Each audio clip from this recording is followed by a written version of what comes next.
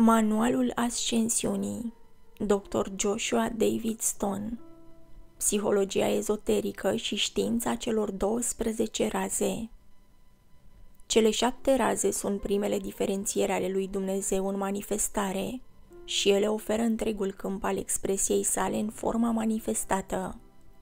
Cele șapte raze sunt întruchipările celor șapte tipuri de forțe, ceea ce demonstrează șapte calități ale lui Dumnezeu.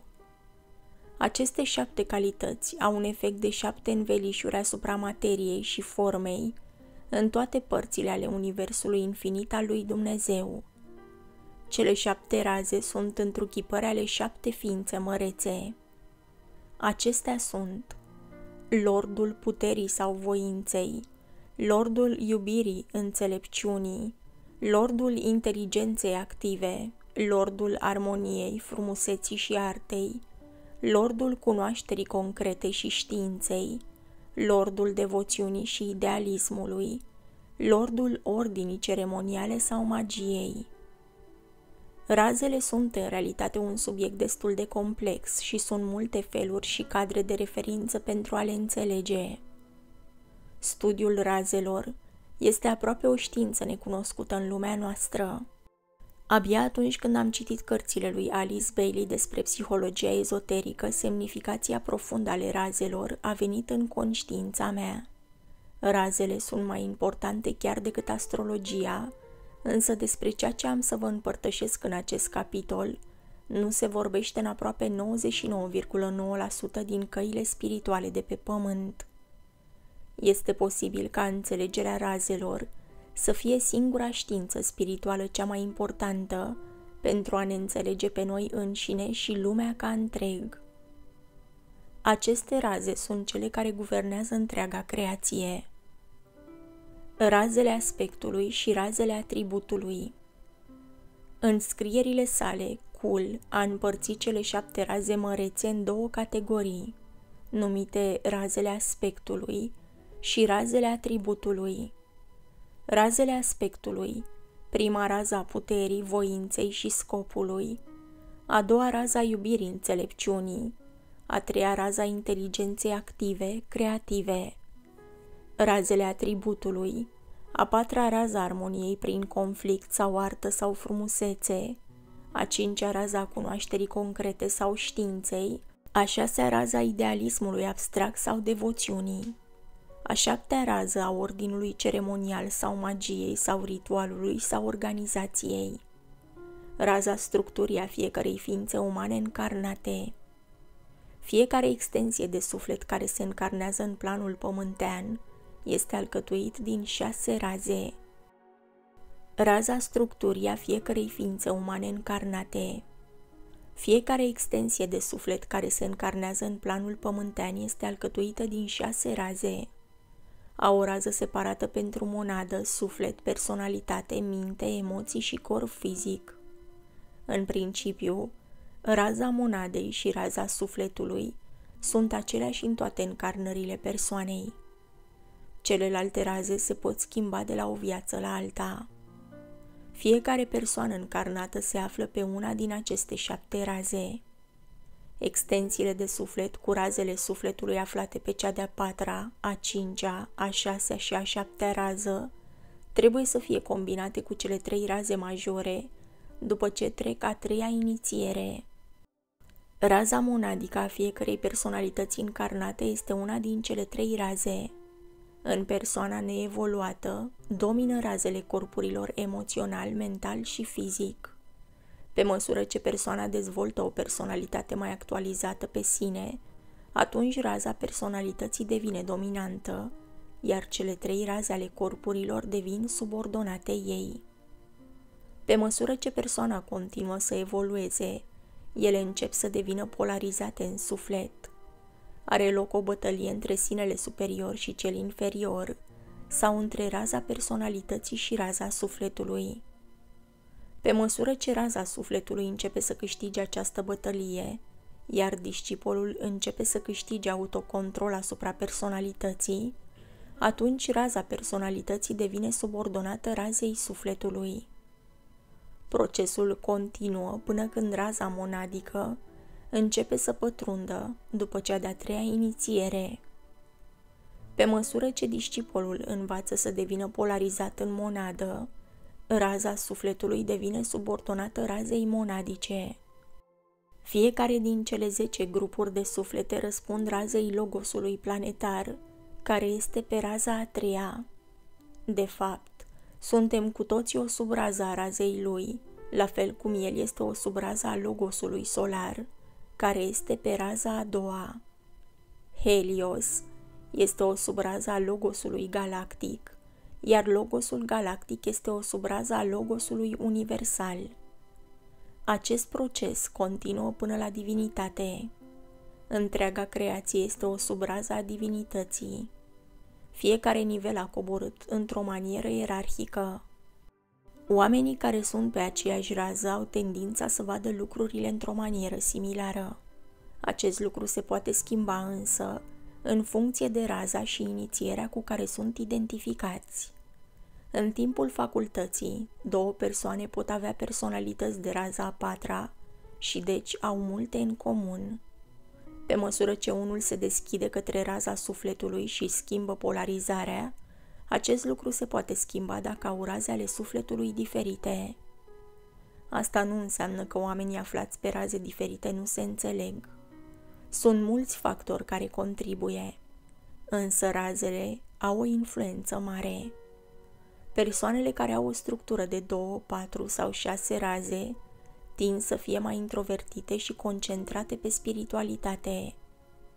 Persoanele cu o structură de 1, 3, 5, 7 raze tind să fie mai extrovertite și concentrate pe forma și pe nivelul concret al lumii. Când o extensie de suflet se află la două treimi din calea ei spirituală, raza sufletului începe să conducă personalitatea. Este însă spre beneficiul fiecărui aspirant și discipol să încerce și să ajungă la înțelegerea celor șase raze care alcătuiesc constituția lor spirituală. Raza personalității își desfășoară majoritatea activității în corpul fizic. Raza sufletului are influența specifică în corpul astral. Raza monadică are influență specifică în corpul mental. Raza personalității determină atitudinea de separare. Raza sufletului facilitează atitudinea de conștiință de grup și detașare față de partea de formă a vieții. Raza monadică poate fi simțită numai după a treia inițiere și aduce aspectul voinței Creatorului. Aceste raze au un efect incredibil de puternic asupra vieții fiecărei ființe umane raza corpului fizic determină marea majoritate a trăsăturilor fizice ale corpului fizic. Razele determină calitatea corpului emoțional și afectează într-o măsură mare natura minții. Razele predispun fiecare persoană către anumite puteri și anumite slăbiciuni. Anumite atitudini ale minții sunt ușoare pentru un anumit tip de rază și extrem de diferite pentru altele. De aceea personalitatea încarnată schimbă razele de la o viață la alta, până când toate calitățile sunt dezvoltate și demonstrate. Datorită acestor lucruri, este absolut esențială cunoașterea acestor raze pentru a te cunoaște pe tine însuți și pentru întreaga zonă a psihologiei. Ceea ce este șocant este că în domeniul psihologiei de pe pământ din ziua de azi, nu există nicio înțelegere a razelor, acesta fiind și unul dintre multiplele motive pentru care nu este eficientă modalitatea în care este practicată ea. Motivul pentru care razele nu sunt înțelese se datorează faptului că sufletul nu este înțeles aproape deloc. 98% din formele de psihologie predate în școli și practicate de profesioniști licențiați sunt separate și deconectate de la nivelurile de conștiință ale sufletului și ale monadelor. Noul val din viitor va fi studiul psihologiei transpersonale sau spirituale. Nu doar oamenii au raze, și țările, orașele, grupurile și organizațiile au raze. Acestea sunt însă limitate la o singură rază a sufletului și o rază a personalității. Spre exemplu, multe din țările de pe pământ operează încă pe raza personalității. Atunci când raza sufletului este capabilă să se concentreze complet printr-un individ, atunci discipolul este pregătit să ia a treia inițiere. Raza personalității este apoi stinsă în mod ocult. Locuitorul din Praga a fost subjugat și stăpânit. Sufletul este cel care alege razele pentru extensia de suflet sau personalitatea încarnată pentru fiecare viață. Fiecare rază lucrează mai întâi prin una din ceacre. O cunoaștere a structurii noastre a razei ne oferă înțelegeri legate de caracterul nostru, forțele și slăbiciunile noastre, în același mod în care o poate face și un horoscop astrologic adecvat. Studiul psihologiei ezoterice și știința celor 12 raze este la fel de importantă precum studiul astrologiei. Poate fi chiar mai important, având în vedere faptul că razele, la nivel cosmic, afectează, influențează și preced crearea stelelor și a constelațiilor prin universul infinit al lui Dumnezeu. Este important să realizăm că putem folosi toate razele, indiferent dacă le avem în structura noastră, a razei sau nu. Poți chema oricare dintre cele 12 raze și calitățile lor pentru serviciul personal și planetar. O analiză amănunțită a celor 12 raze. Prima rază a voinței sau a puterii. Prima rază este o energie a voinței, puterii și comenzii. Este conectată cu vitalitatea, inițiativa și încrederea. Schimbă ce este vechi și face loc pentru ce este nou. Este o energie foarte dinamică. Culoarea acestei raze este roșu. Cei care se află pe această rază au o mare putere personală care poate fi folosită pentru bine sau rău. Tipul de persoană a primei raze va ajunge întotdeauna în față indiferent de pe ce linie lucrează vor fi la conducerea profesiei lor. Sunt lideri înnăscuți. Prima rază, care nu este temperată de iubirea înțelepciunea razei a doua, poate fi extrem de crudă și nemiloasă. Lucrarea literară a acestui tip de persoană ar fi puternică și invincibilă. Le pasă puțin de stilul și definitivarea muncii. Abordarea căii spirituale se face prin veritabila forța a voinței. Tipul primei raze ar fi un bun șef și comandant. Exemple Napoleon, Churchill, generalul MacArthur, Eleanor Roosevelt, Indira Gandhi. Multe dintre figurile sportive remarcabile sunt pe această rază. De obicei, după ce prima rază își atinge scopul, celelalte raze preiau conducerea. Într-un fel, prima rază este legată de energia berbecului. Persoana de prima rază începe proiecte, însă apoi are altele de făcut. Prima rază este folositoare când persoana este traumatizată de emoțiile sale.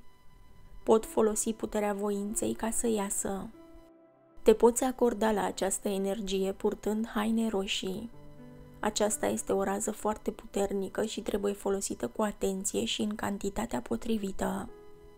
Majoritatea persoanelor au nevoie de o cantitate mult mai mică de invocarea primei raze decât ale celorlalte raze. Culoarea roșie intensifică orice stare deja existentă. Prima rază va avea un efect aproape instant. De obicei este nevoie de o cantitate mică. Manifestările negative ale primei raze va fi văzute în manifestările de războaie pe planetă. Prima și a doua rază ar face o echipă bună pentru a contracara asemenea manifestări negative. O persoană cu o minte de prima rază ar fi foarte directă și intens concentrată. Un corp emoțional de prima rază ar fi foarte puternic, cu reacții emoționale intense. Un corp de primă rază are tendința să fie înalt, construit puternic și cu oase mari.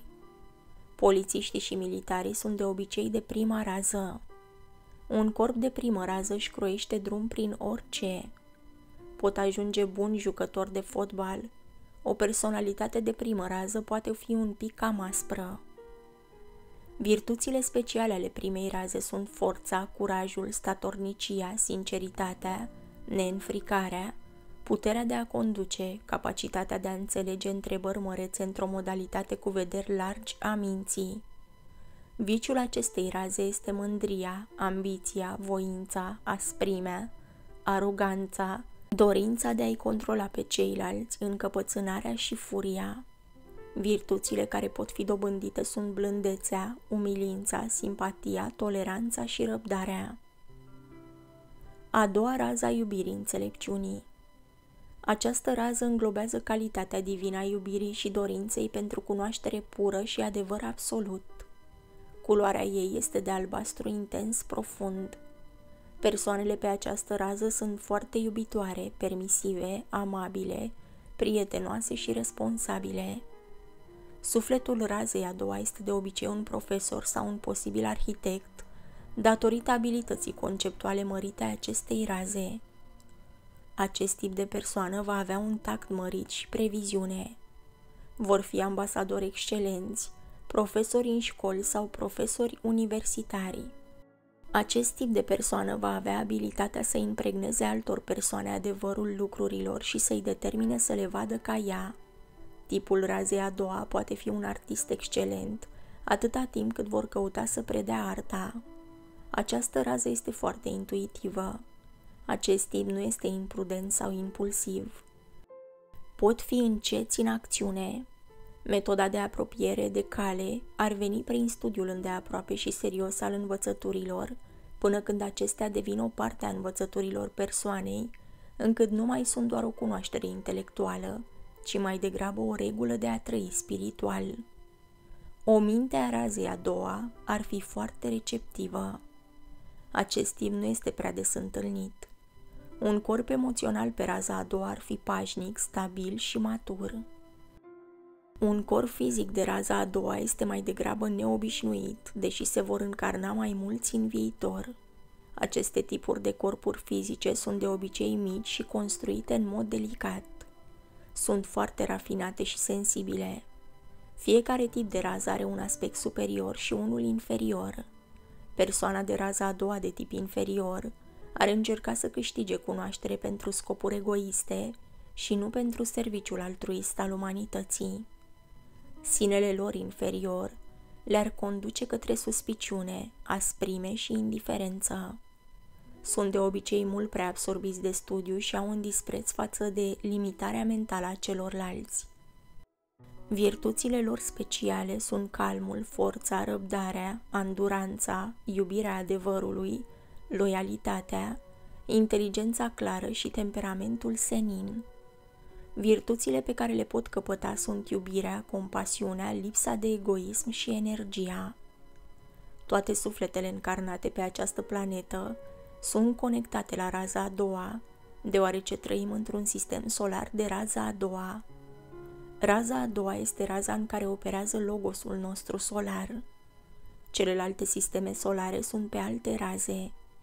Toate celelalte raze sunt sub raze ale acestei mărețe raze cosmice.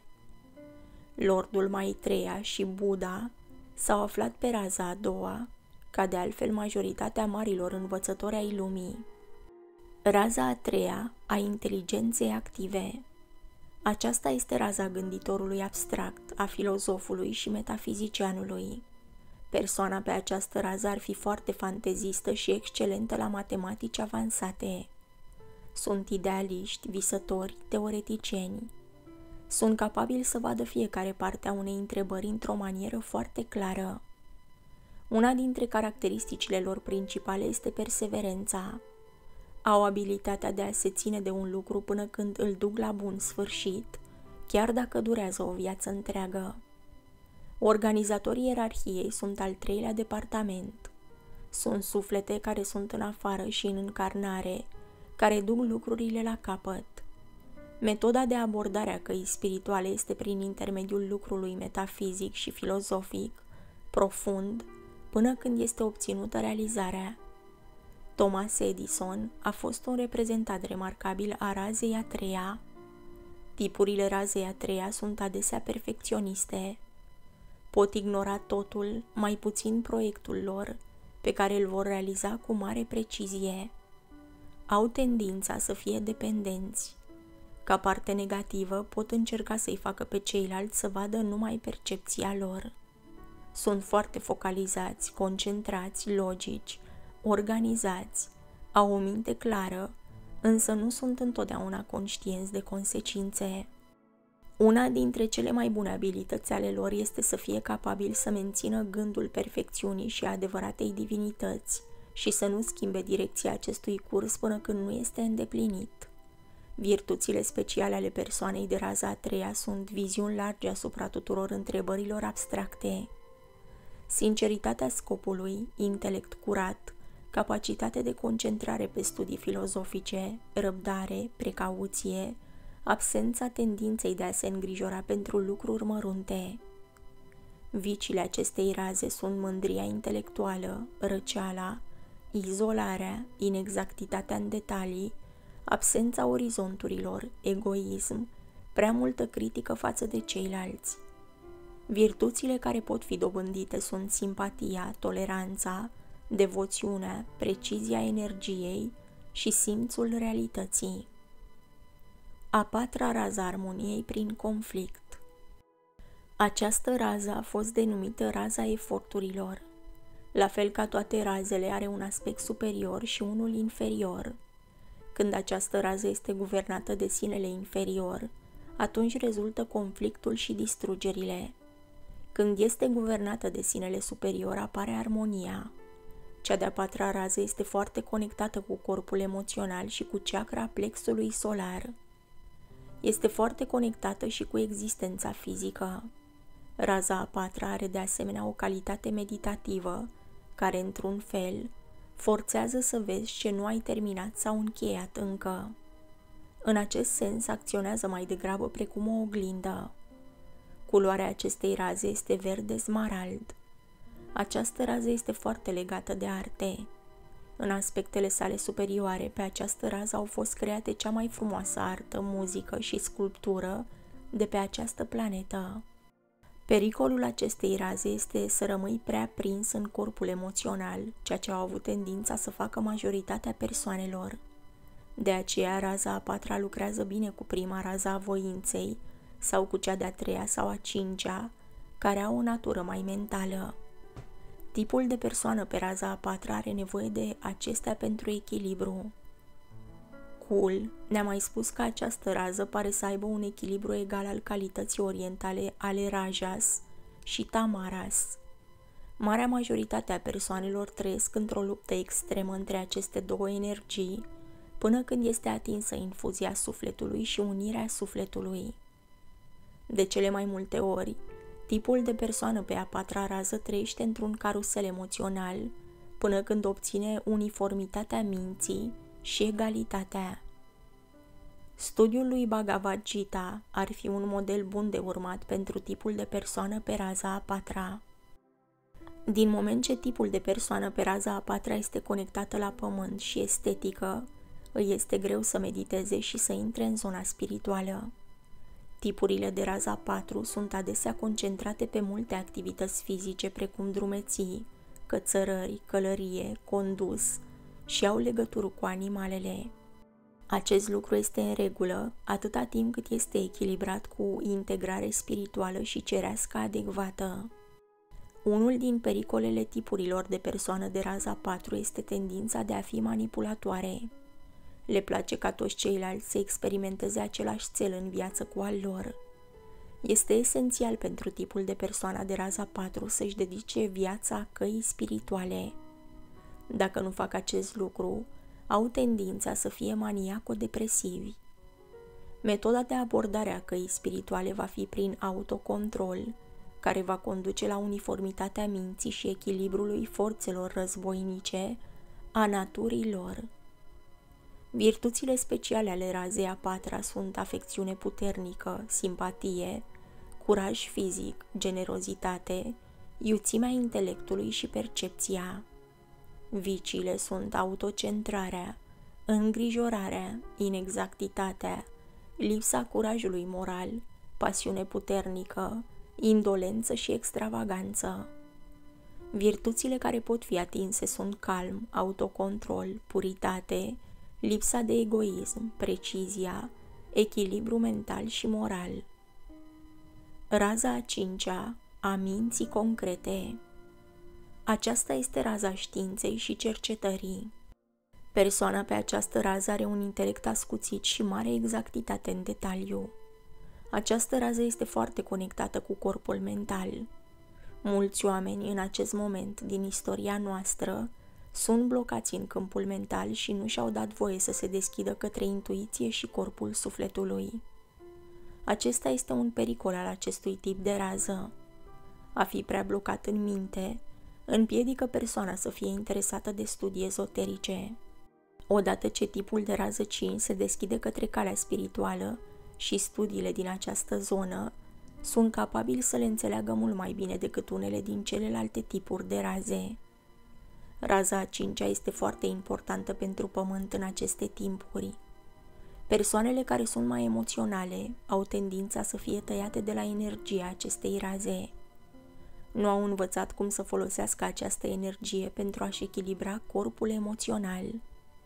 Pe de altă parte, tipul de rază 5 trebuie să învețe cum să-și liniștească uneori mintea. De aceea, meditația este foarte importantă pentru acest tip. Culoarea acestei raze este portocaliu. Tipul de rază 5 este foarte sincer și plin de cunoaștere și fapte. Pericolul pentru raza a cincea este să nu devină prea pendant și prea concentrat pe detaliile cele mai triviale. Este raza marelui chimist, electricianului practic, inginerului de primă mână, marelui chirurg sau a șefului vreunui departament tehnic special. Un artist pe această rază este foarte rar. Abordarea razei a cincea a căi spirituale este prin cercetare științifică, împinsă la concluzii finale. Acest tip de persoană poate avea încredere până în adâncul unui lucru, care este un fel de dar personal. O minte de raza 5 poate avea încredere în orice experiență în care se învață și să scoată din aceasta esența. Raza a treia are o minte excelentă, dar nu are abilitatea să pătrundă în esența și în sâmburele lucrurilor, precum persoana de raza 5. Oriunde este multă energie de raza 5, vor fi multe biserici New Age. Aceste biserici sunt conectate cu mișcarea noua gândire, care este o forță a razei a cincea. Speranța ierarhiei este că enorma cantitate de energie de rază 5, aflată acum pe planetă, să conducă oamenii în inima și esența lucrurilor, care este în cele din urmă sufletul și spiritul. În sensul acesta, a cincea rază ajunge să focuseze New Age-ul. Raza a cincea pune concentrarea minții acolo, iar raza a șaptea și razele superioare o înrădăcinează și determină activitatea. O altă calitate în modelul razei a cincea de care mulți oameni nu sunt conștienți este iubirea necondiționată. Aceasta deoarece raza a cincea accesează corpul mental superior, care este tărâmul sufletului. Raza a cincea ajută în procesul de găsire a echilibrului și integrării în psihic. Virtuțile speciale ale tipului razei a cincea sunt bunul simț, dreptatea, afirmațiile exacte, independența, intelectul ascuțit. Viciile razei a cincea sunt critica aspră, îngustimea, aroganța, temperamentul neiertător, lipsa simpatiei, a respectului și prejudecata. Virtuțile care pot fi însușite sunt respectul, devoțiunea, simpatia, iubirea și mintea deschisă. Raza a șasea a devoțiunii Raza a șasea este raza devoțiunii și idealismului. Persoana pe această rază este plină de fervoare religioasă. Totul este văzut fie perfect, fie intolerabil. Este o rază bazată pe emoțional, care este de asemenea și foarte conectată cu mintea subconștientă. Culoarea ei este indigo, are capacitatea de a ajuta persoanele să privească dincolo de orientarea pământeană. Acest tip de persoană are nevoie să aibă un Dumnezeu sau o încarnare a unei zeități pe care să o adore și căreia să îi se devoteze. Tipul superior de persoană pe această rază devine sfânt. Tipul cu personalitate inferioară devine cel mai urât tip de bigot și fanatic. Creștinii fundamentaliști sunt foarte conectați pe această rază. Toate războaiele religioase și cruciadele au izvorât din folosirea incorrectă a acestei raze. Persoana pe această rază este adesea foarte blândă, dar poate intra destul de ușor într-o stare de furie și mânie. Renunță la viața lor pentru idealul de devoțiune ales. Acest tip de persoană, precum un soldat, nu s-ar lupta decât dacă ar fi provocat de o cauză măreață în care crede. Dacă se întâmplă așa, va lupta precum un om posedat. Tipul razei a șasea este adesea un poet sau scriitor de cărți religioase, de poezii sau proză. Le place frumusețea și estetica, însă nu sunt tot timpul bun la a produce.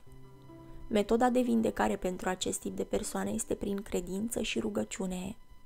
Modalitatea de apropiere de Dumnezeu este prin rugăciune și meditație, care are ca cel uniunea cu Dumnezeu. În aceste vremuri, raza a șasea iese din încarnare. Manifestarea cea mai înaltă a sa a fost viața lui Isus Hristos și a Lordului Maitreya. Raza a șasea a fost lăsată disponibilă pentru două sau trei mii de ani, datorită faptului că umanitatea a fost stadiul de evoluție de 10 ani. Datorită faptului că umanitatea a fost la stadiul de evoluție de 10 ani. Datorită acestui fapt, raza a șasea a fost raza perfectă de care a fost nevoie pentru a duce umanitatea la următorul nivel. Umanitatea s-a maturizat acum, așa că nu mai are nevoie de această rază.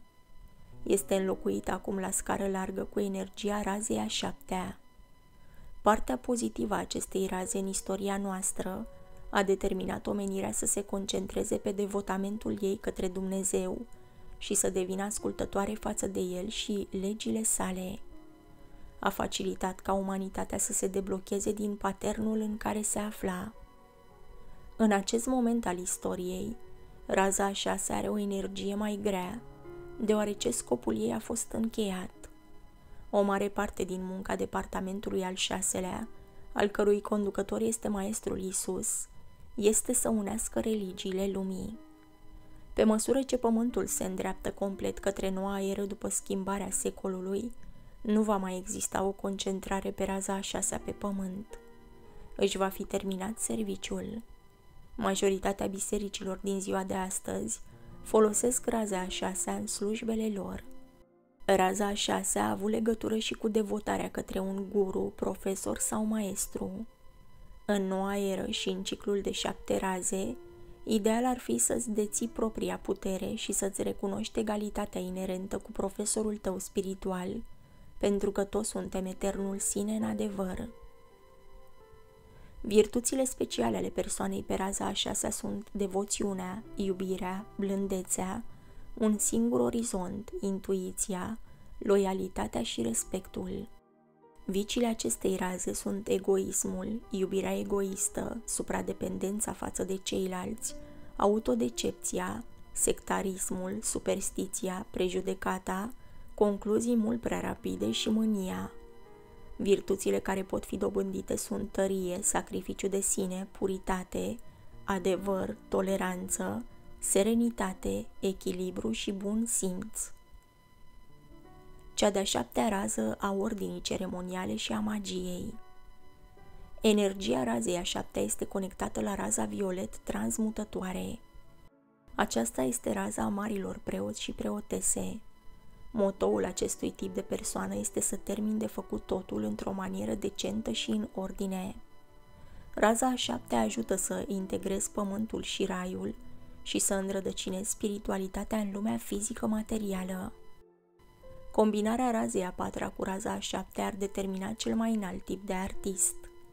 Munca literară a persoanei pe raza a șaptea poate fi remarcabilă. Persoana de raza a șapte excelează în ceremonie, observare, ritual, arbor genealogic și în reguli de prioritate.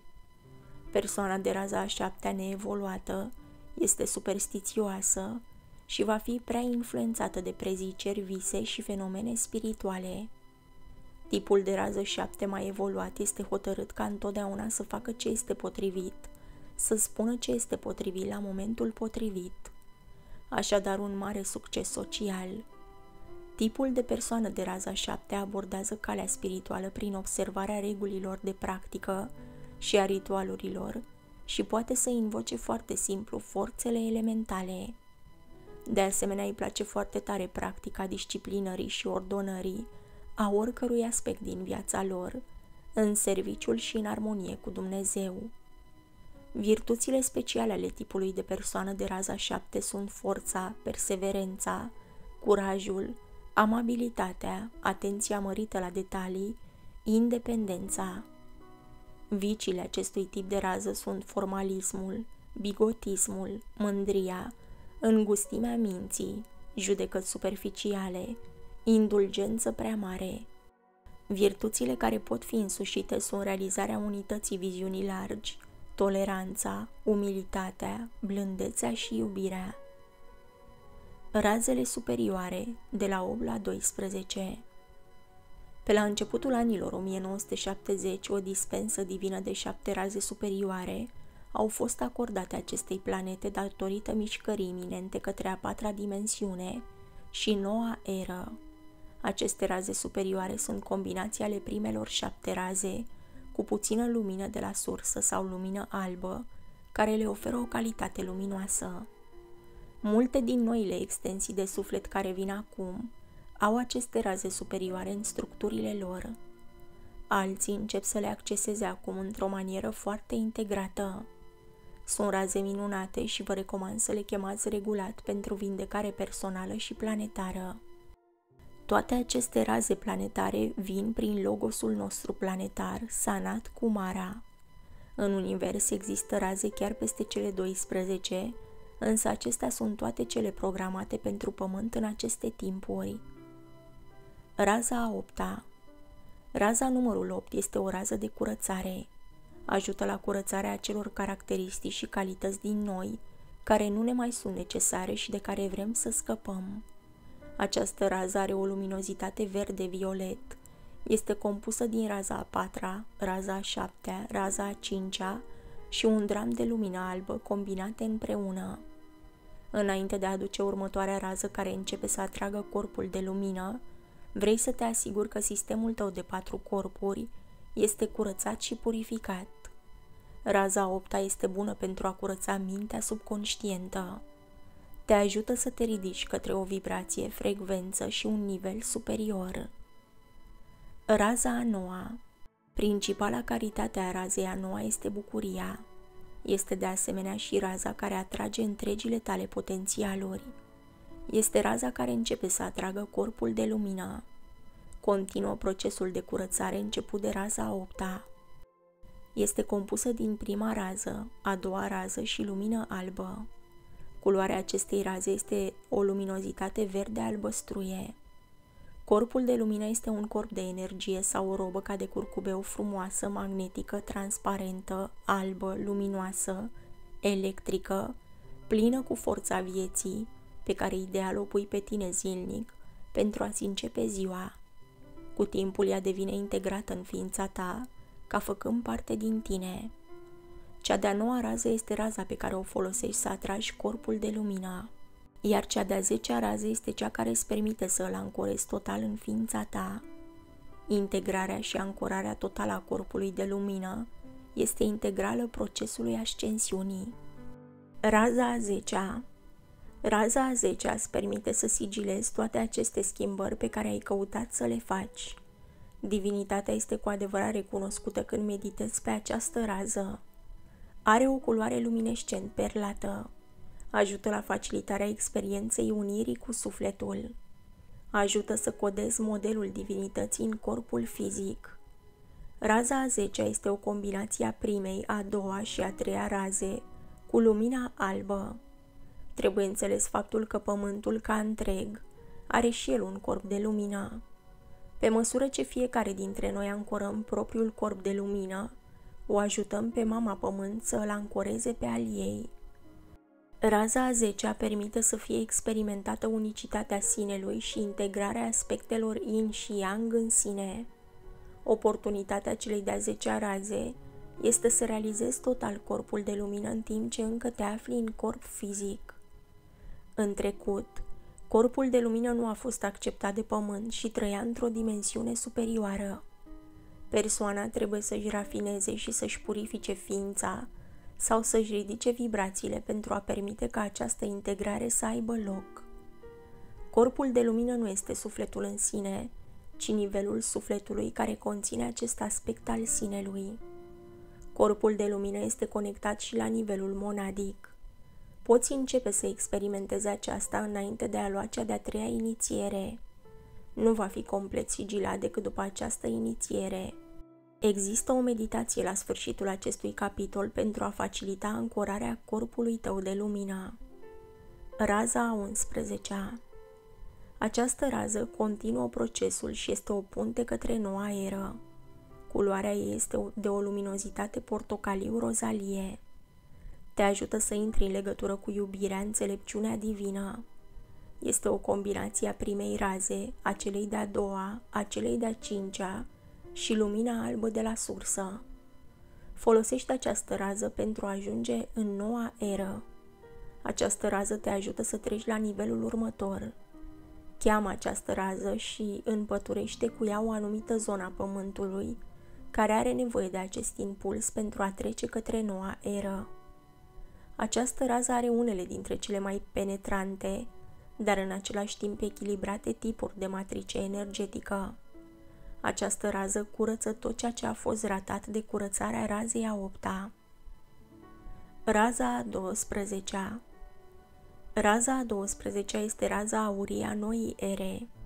Aceasta este raza ancorării energiei cristice pe pământ. Este însumarea tuturor razelor superioare. Cul și Vivamus au prezis că noua eră va începe oficial în 1996.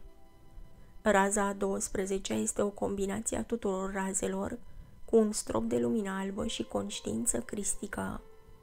Deși conține toate cele 11 raze, proporțiile nu sunt exact la fel. Spre exemplu, este mai puțină rază 1 decât raza 2.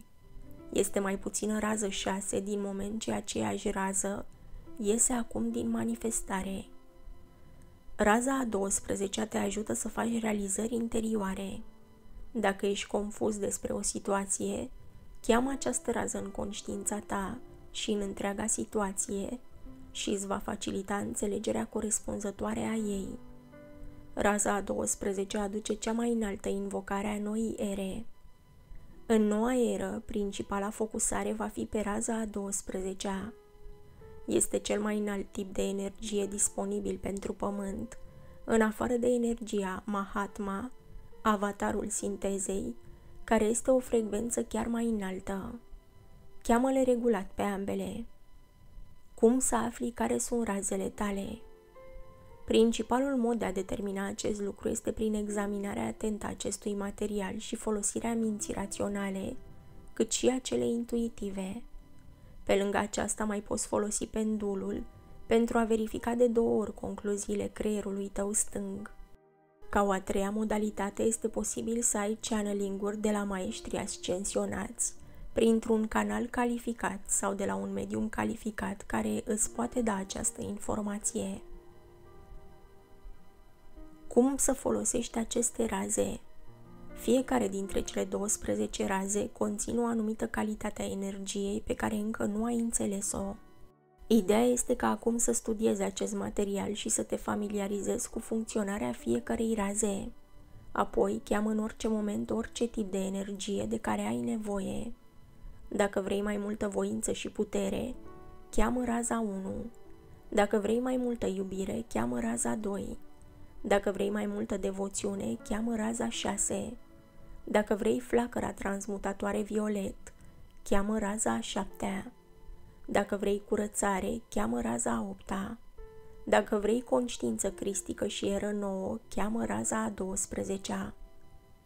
Tot ceea ce trebuie să faci este să spui mental sau cu voce tare, chem acum raza. Poți chema raza după număr, culoare sau calitatea energiei. De exemplu, poți spune chem acum raza aurie. Poți spune chem acum raza iubirii și înțelepciunii. Poți folosi oricare dintre aceste metode sau combinația lor. Poți schema aceste raze nu doar pentru tine, ci și pentru serviciul lumii. Nu este permis spiritual să trimit o rază către o persoană decât dacă i-ai cerut acordul sau dacă a cerut. Poți trimite raze către anumite zone ale lumii pentru vindecare. De exemplu, poți trimite raza iubirii înțelepciunii în Bosnia sau Orientul Mijlociu. O zonă a lumii poate avea nevoie de flacăra transmutătoare violet sau oricare dintre razele superioare. Singurele raze care nu sunt potrivite să fie trimise planetei sunt prima rază și a patra rază. Acestea ar trebui folosite numai sub îndrumarea directă a unui maestru ascensionat.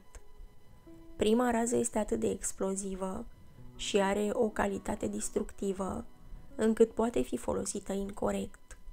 Cea de-a patra rază a armoniei prin conflict. Majoritatea oamenilor deja nu se descurcă prea eficient cu ea. Este o rază bazată pe emoțional, care atunci când este ghidată de personalitate sau de egoul negativ, creează doar mai mult conflict și devastări.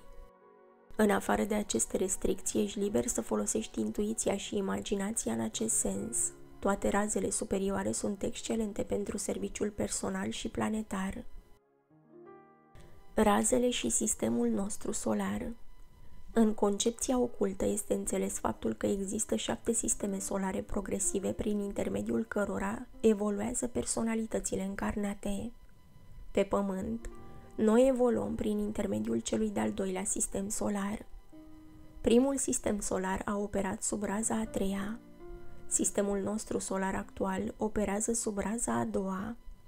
Următorul sistem solar va opera sub raza 1 Legat de sistemul nostru solar, cele șapte raze emanate sunt expresia șapte vieți mărețe, întruchipate de către șapte stele în constelația Marelui Urs. Din moment ce sistemul nostru solar guvernat de Helios este un sistem solar de raza 2, celelalte șase raze sunt de fapt sub raze ale razei cosmice 2. Razele din cele șapte stele din Marele Urs ajung la soarele nostru prin cele 12 constelații. Fiecare rază transmite energia ei prin trei dintre constelații și ajunge pe Pământ prin una dintre cele șapte planete sacre. A existat o mică ajustare în a înțelege acestea, care a fost adusă în materialul lui Alice Bailey, datorită faptului că Pământul a devenit acum o planetă sacră. Există de asemenea șapte sisteme solare în sectorul nostru galactic, din care fac parte Pământul și sistemul nostru solar. Povestea nespusă a lui Isus Hristos Scopul acestui capitol este să împărtășesc cu voi una dintre cele mai fascinante informații neîmpărtășite pe care majoritatea persoanelor nu le cunosc despre viața lui Isus Hristos. Nu am inventat această informație pe care am să vă împărtășesc. Am găsit această informație într-o căutare amănunțită din documentele lui Edgar Casey, Alice Bailey, Evanghelia vărsătorului a lui Isus Hristos, manuscrisele pierdute care au fost găsite recent în Tibet, India și munții Himalaya și prin channeling cu cult tibetanul. Îmi face o mare plăcere să vă împărtășesc povestea nespusă a lui Isus Hristos. Povestea lui Isus Hristos începe cu mult înainte de încarnarea sa ca Isus. Edgar Casey și Cool au enumerat viețile lui trecute. Conform lui Edgar Casey, viețile trecute ale lui Isus au fost Amilius, Adam, Melchizedek, Enoch, Zend, Ur, Asapa, Iesua, Iosif, Iosua și Isus. Cul a mai adăugat încă două care au precedat viața sa ca Isus. Apolonius din Tiana și o încarnare într-un corp sirian în care s-a înălțat în acest secol. Cul a confirmat lista lui Casey. Amilius a fost primul născut din Tatal, care a venit pe tărâmul atlantian și și-a permis să fie condus pe căile egoismului. Apoi a venit ca Adam, la fel ca în povestea cu Adam și Eva. Apoi a venit ca Melchizedek, preotul din Salem, apoi ca Zend, care a fost tatăl lui Zoroaster.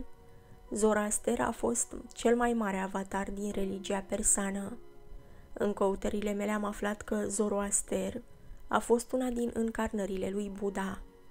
Apoi a venit ca Enoch, omul care a mers alături de Dumnezeu. Apoi a venit ca Asapa. El a fost Iesua, care a motivat pe cei care s-au întors din captivitate în perioada când Nehemiah, Ezra, Zerubabel au fost factorii în încercarea de a restabili venerarea lui Dumnezeu. Iosua a fost scribul care a tradus restul cărților scrise până la vremea respectivă. Iosif a fost menționat în Vechiul Testament ca fiind cel care a purtat haina cu multe culori și a fost aruncat în șanț de către frații săi invidioși. Mai târziu a devenit el măduitor de vise, apoi a venit ca Iosua, care a fost purtătorul de cuvânt al lui Moise și a condus poporul evreu în țara promisă. În viața sa ca Iisus Hristos, el a luat cea de-a patra inițiere în momentul crucificării. Ultimii trei ani din viața sa, el a fost eclipsat de Hristos. Hristos a fost nimeni altul decât Lordul Maitreia, care se află în fruntea ierarhiei spirituale și a Marii Frății a Luminii. Lordul Maitreia deține poziția de Hristos, care este un titlu în guvernarea spirituală.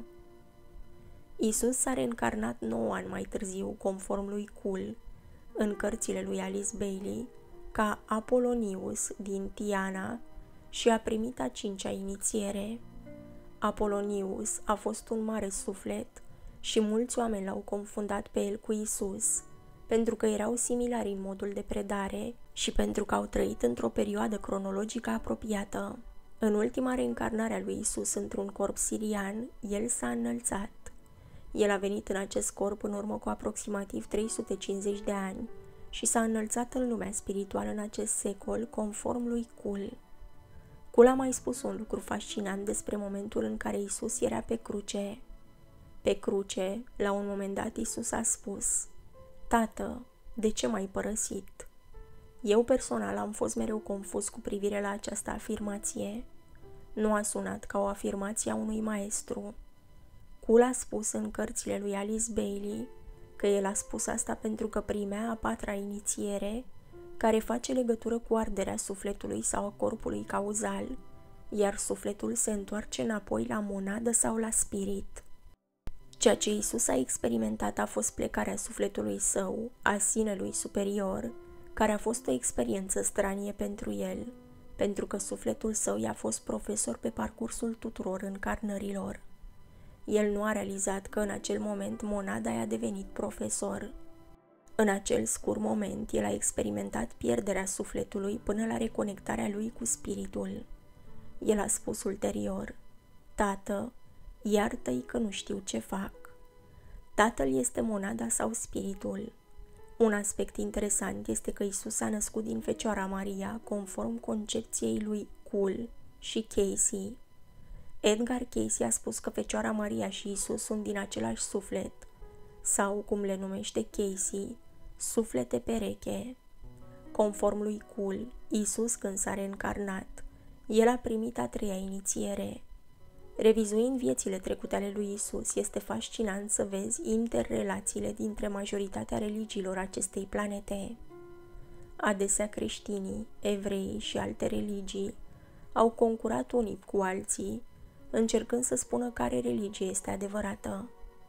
Absurditatea acestui lucru poate fi văzută în faptul că același suflet a fost implicat în ambele religii. Isus a fost rabin, a fost Iosua, care a condus evrei în țara promisă. El a fost Iosif din Vechiul Testament. A fost ghidul și învățătorul lui Abraham, care a înființat religia iudaică ca Melchizedek. O altă informație interesantă este faptul că Abraham a fost un maestru ascendant, El Moria, care este șoșanul sau lordul primei raze. O altă conexiune interesantă între evrei și creștini este faptul că John Baptistul a fost Eliah într-o viață anterioară.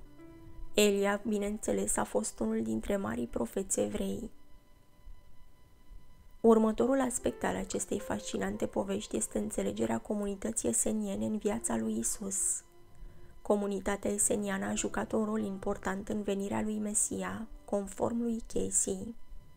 Destul de straniu, esenienii nu au fost menționați în Biblie.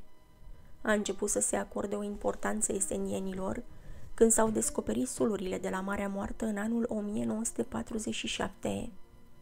Sulurile conțineau literatura religioasă a esenienilor. Conform lui Casey, era un număr de grupuri sau comunități de esenieni. Grupul care a jucat rolul cel mai semnificativ în viața lui Isus a fost grupul de la Muntele Carmel, locul original unde era stabilită școala de profeți în timpul lui Eliah. Esenienii studiau astrologia, numerologia, frenologia și reîncarnarea. Aceste credințe erau un conflict direct cu învățăturile lui Saduces și au dus la persecutarea esenienilor. Una dintre caracteristicile principale ale esenienilor care îi distingeau de alte secte era așteptarea venirii lui Mesia. A fost principalul motiv al existenței grupului. Conform lui Edgar Casey, numele esenian înseamnă de fapt așteptare. Credința esenienilor a fost faptul că, printr-o observare strictă a legilor spirituale, ei se pot purifica singuri, astfel că Mesia poate veni pe pământ și să primească un corp fizic. Isus a adus dispensia următoare a spiritului în epoca peștelui. Evreii, în mare extindere, au ținut la dispensa adusă de Moise, care are legătură cu legile. Isus a venit să aducă mai departe cunoașterea că iubirea este cea mai importantă lege. Pregătirea esenienilor a intrat într-o nouă etapă când au ales 12 fete pentru a merge la templul de pe muntele Carmel, pentru a se pregăti să devină mama lui Mesia. Maria a fost una dintre acești copii. Conform lui Casey, ele au fost pregătite cu exerciții fizice, puritate, iubire și răbdare. Au avut parte de o dietă specială pe tot parcursul pregătirii vieții spirituale. Șeful esenienilor în acele vremuri era o femeie pe nume Judy. Era destul de neobișnuit ca o femeie să fie șeful unei secte în acele timpuri patriarhale. Judy a fost profet și profesor spiritual. Maria a avut doar patru ani când a intrat în templu.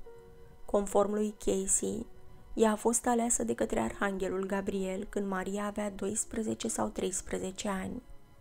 Maria a fost separată de ceilalți copii pentru pregătiri ulterioare. Această perioadă a durat mai mulți ani.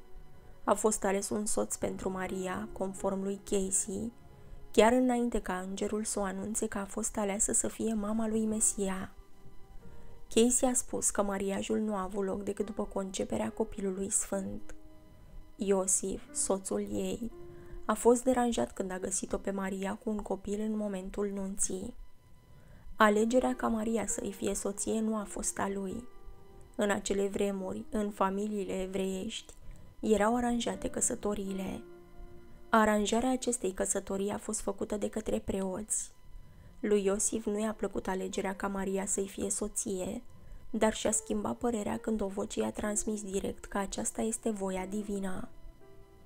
Iosif avea 36 de ani când s-a căsătorit, iar Maria avea doar 16. Arhanghelul Gabriel a venit la Iosif și l-a convins. Maria, Iosif și părinții lor erau implicați în comunitatea eseniană, la fel ca Ion Baptistul și părinții lui. Casey a fost întrebat dacă sărbătorim Crăciunul la momentul potrivit. El a spus că nu suntem departe. În jurul datei de 24-25 decembrie, nașterea lui Isus și pregătirea de la început a lui Isus sunt bine descrise în Biblie, deci nu am să mă focusez pe acest lucru. Perioada în care aș vrea să mă focusez este între vârsta de 12 și 30 de ani, care nu este prezentată în Biblie.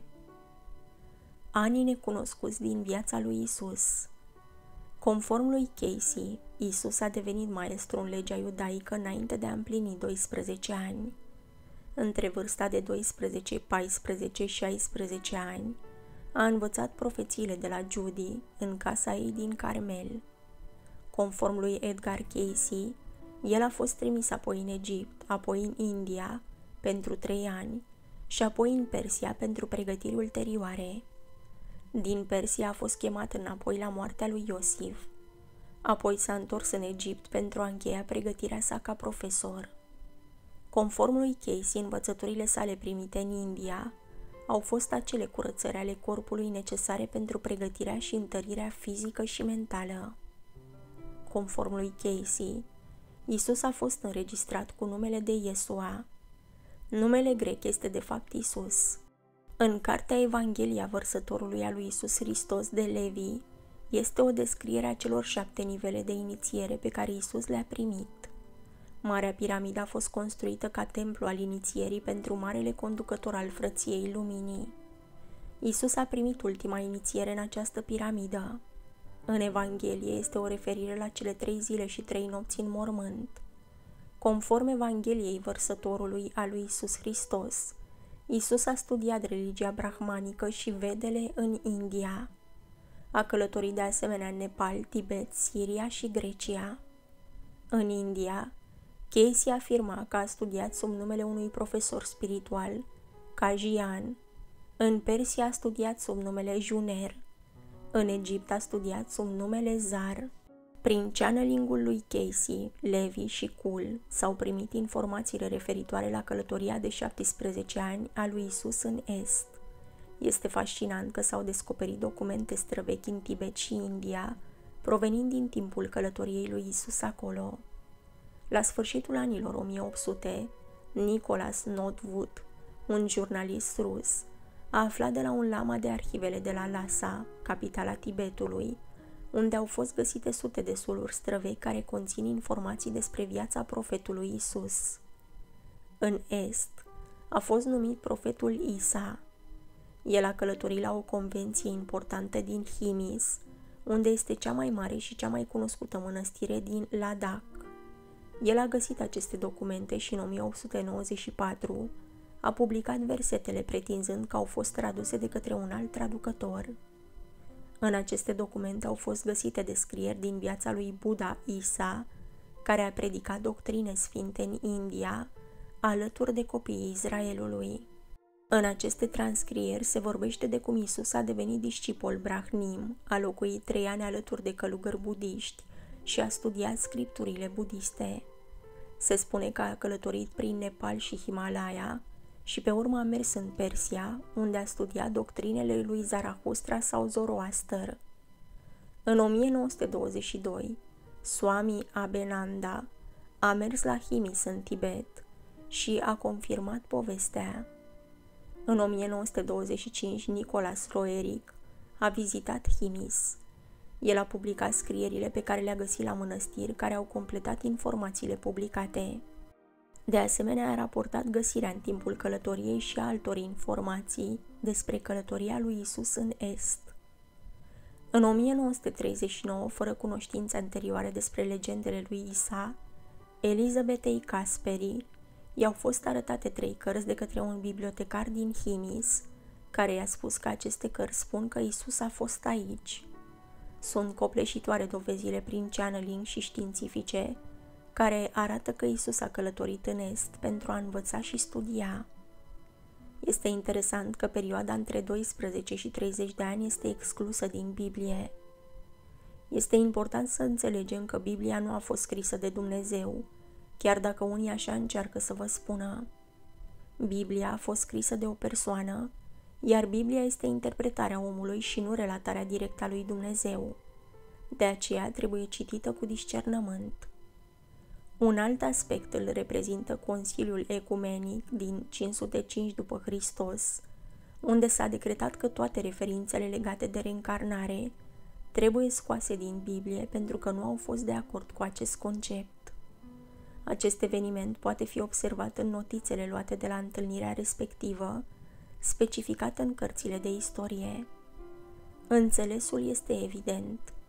Biblia nu este doar interpretarea omului asupra conceptului despre Dumnezeu, dar este dovada că omul șterge ceea ce nu îi convine. Este părerea mea personală că este și cazul celor 18 ani care nu sunt menționați în viața lui Isus în Biblie. Nu cred că prea înalții biserici erau deranjați de ideea ca oamenii comuni să cunoască faptul că Isus a studiat budismul, religiile orientale, zoroastrismul și misterele egiptene. Câteva informații fascinante pe care le-am găsit în documentele lui Casey sunt legate de faptul că Isus a mai avut trei frați și surori. Aceasta este ceea ce mintea universală a spus prin Edgar Casey. Isus s-a născut în neprihănie, înainte ca Maria și Iosif să se căsătorească. Iosif și Maria, după căsătorie, au mai avut trei copii, conform lui Casey. Doi băieți și o fată. Maria avea patru ani când a fost aleasă să devină una dintre cele 12 fecioare posibile să devină mama viitorului Mesia. Nu era îngăduit vin sau băutură fermentată și a fost ținută cu o dietă strictă. Când a fost aleasă de arhanghelul Gabriel, au fost tunete și fulgere pe cer, conform lui Edgar Casey. În templul esenienilor de care povestesc, unde era și o școală, unul dintre lucrurile pe care ei le învățau era abilitatea de a face channeling. Judy, conducătoarea esenienilor, l-a invitat pe Isus în casa ei de la vârsta de 12 ani până la vârsta de 16 ani. L-a învățat profeția, astrologia și călătoria sufletului, unde Judy avea experiență. Casey spune că cei trei înțelepți reprezintă sau simbolizează cele trei faze ale experienței lumii materiale. Aurul reprezintă materialul, tămâia reprezintă eterul și mirul forța vindecătoare. Așadar, corp, minte și suflet. Ei au deservit ca încurajare care era necesară pentru Maria și Iosif. Conform lui Edgar, Isus s-a născut la miezul nopții. Esenienii, datorită darurilor de channeling și profeție, aveau cunoștință despre venirea lui Isus, iar venirea sa a reprezentat principalul motiv pentru unirea lor. O ultimă informație interesantă pe care Cul mi-a spus-o este că Maria s-a înălțat la sfârșitul vieții ei pe pământ. Pe parcursul căutărilor mele, mai multe informații fascinante mi-au fost revelate una este că Enoch, care este implicat în cartea lui Enoch și cheile lui Enoch, este una dintre reîncarnările lui Isus, conform lui Cul. Enoch și-a realizat ascensiunea și în timpul acelei vieți a fost eclipsat de o ființă care se afla în Consiliul Galactic, numit Melchizedek. O altă informație interesantă este că într-o viață anterioară a lui Mohamed, fondatorul religiei islamice, el a fost discipolul lui Bartolomeu, în încarnarea sa ca Mohamed, Arhanghelul Gabriel și Isus au fost doi dintre principalii lui profesori din planul interior.